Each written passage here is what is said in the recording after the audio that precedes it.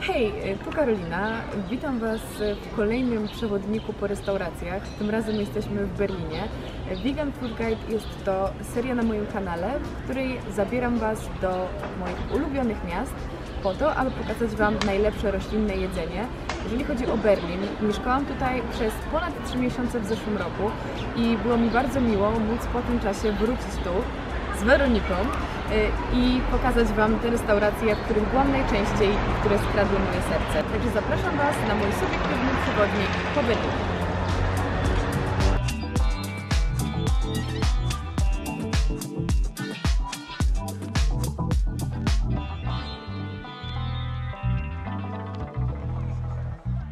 Wydaje mi się, że kuchnią najbliższą mojemu sercu jest kuchnia Bliskiego Wschodu, dlatego musiałam przyprowadzić Was do Hananu. To miejsce jest dla mnie naprawdę wyjątkowe. Byłam tutaj kilka razy i ma ono przede wszystkim przepiękną misję, bo chcą oni poprzez jedzenie łączyć ludzi, ludzi z różnych kultur, z różnych teł i tak tutaj łączy się kuchnia palestyńska z kuchnią izraelską, arabską, marokańską i to wszystko widać w ich przepysznych daniach, także za chwilę zobaczycie, co najlepiej tutaj zamówić, ale gwarantuję Wam, wszystko jest naprawdę boskie.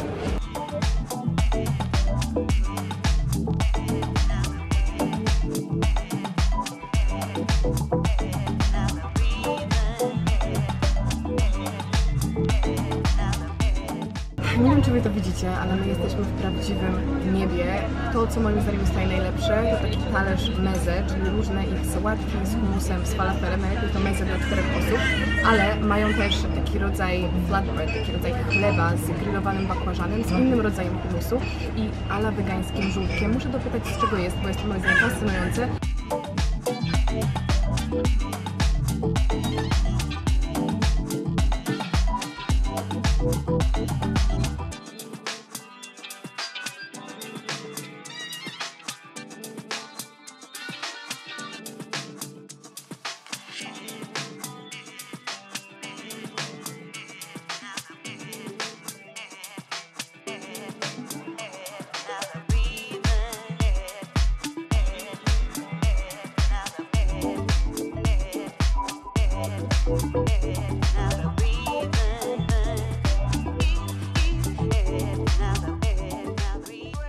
Jednym z najbardziej kultowych miejsc na wegańskiej mapie Berlina jest Bramivals, czyli pączkarnia.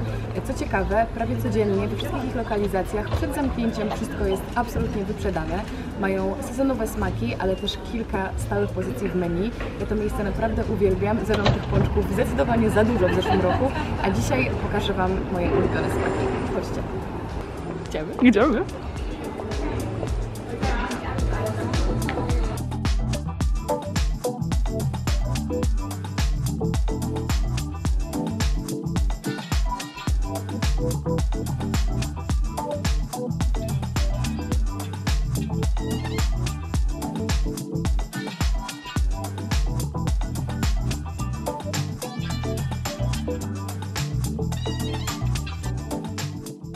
Mówiłam Wam, że idziemy spróbować moich ulubionych pączków. Trochę kłamałam, bo tak naprawdę nigdy nie testowałam Boston Cream, a zawsze o tym marzyłam, ponieważ w bardzo lubię pączki z nadzieniem, jak prawdziwa Polka. I ten jest z kremowym rodzajem polewy czekoladowej. Także próbujemy naszą nadzieję, że się nie rozczaruje.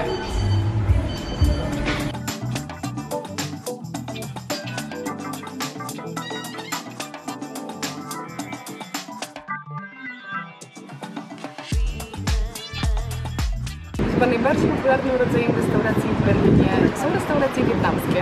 Naprawdę znajdziecie je na każdym rogu, ale moja ulubiona to jest Kat ponieważ znajduje się w najwspanialszej dzielnicy na świecie, czyli na Prenzlauer Berg, ale jeżeli nie ma wysokiego w okolicy, to też polecam Wam ich restaurację Vegan Living 1990, która znajduje się po przeciwnej stronie miasta.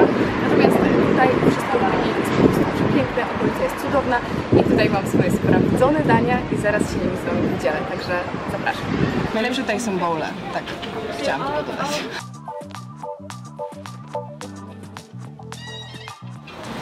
O Boże, tofu.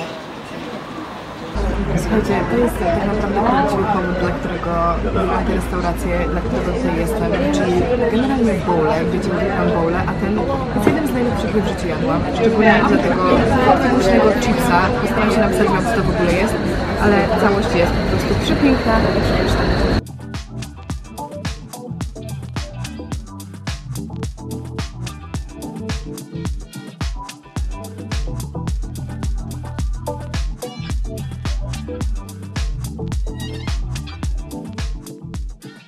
Miejscem, do którego przychodziłam najczęściej, żeby pracować albo pisać eseje na uczelnię, było Funky Natural Fruit. Moim zdaniem mają tutaj najlepszą kawę, a ponadto przez cały dzień serwują śniadanie i pieką przepyszne ciasta.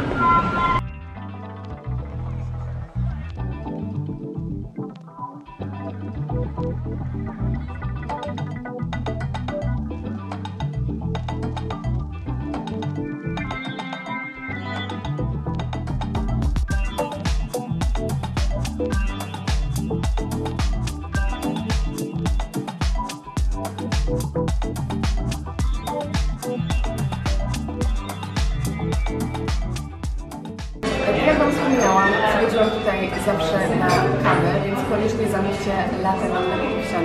Jeśli chodzi o ciasta, to cały czas zmienia się oferta, ale wszystko co zamówicie będzie na pewno smaczne. Dzisiaj po raz pierwszy próbowałam jabłecznika i naprawdę jest przepyszny, a taka bezpieczna opcja, która jest zawsze w trakcie, zawsze zdrowa, na przykład acai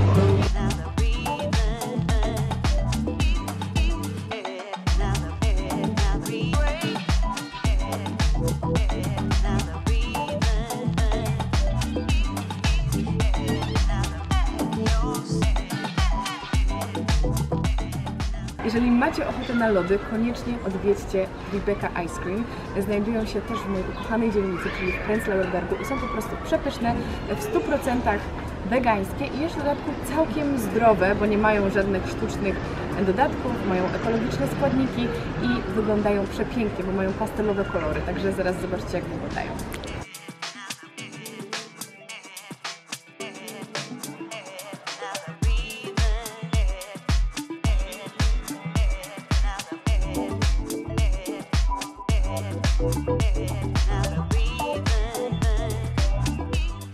Nie wiem jak jest u Was, ale moje ukochane lody to są albo pistacjowe, albo orzechowe i to miejsce ma oba te smaki, dlatego jest moim ukochanym. Mam już dosyć tego, że właśnie wszędzie są same sorbety i lody czekoladowe, także myślę, że to miejsce na pewno znajdzie swoich zwolenników wśród ludzi, którzy orzechowe smaki. Plus, nie wiem czy widzieliście, mają tam lody kokosowe, ale nie w kolorze białym, tylko na przykład różowe lub jakieś inne wariacje i fajne dodatki superfoodsu, także bardzo, bardzo Wam polecam.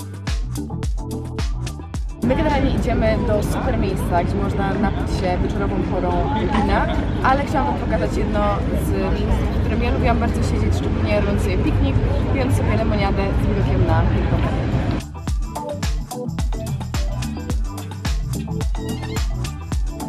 Kiedy jeszcze mieszkałam w Berlinie, uwielbiałam przychodzić tutaj z osobami, które mnie odwiedzały. Jest to cudowne miejsce, gdzie można napić się wina lub czegoś innego nad kanałem. Ja zawsze wybieram Weisswein Schole, czyli białe wino z wodą gazową.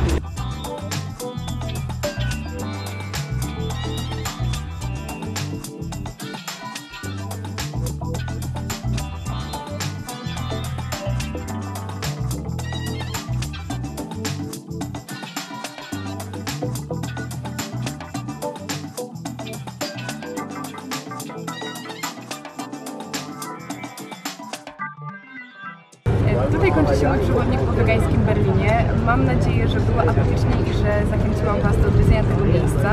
Tak jak zawsze czekam na Wasze rekomendacje, jeśli chodzi o Wasze ulubione restauracje czy kafejki w Berlinie oraz na pomysły, gdzie chcielibyście, abym pojechała następnym razem i jakie restauracje, w jakim mieście poleciła Wam tutaj na kanale. Jeszcze raz dziękuję Wam za oglądanie i do zobaczenia już niedługo. Pa, pa.